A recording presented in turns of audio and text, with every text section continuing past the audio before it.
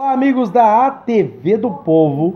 O menino de ouro já passou por diversas emissoras de TV, incluindo o SBT, mas que fez fama na TV do Edir Macedo. Ele, Luiz Bate, foi pego de surpresa pensando que estava com virose e foi internado urgentemente neste domingo, dia, é, dia 1 de dezembro. Então, pessoal, vejam bem, Luiz Bate está internado com problemas graves de saúde.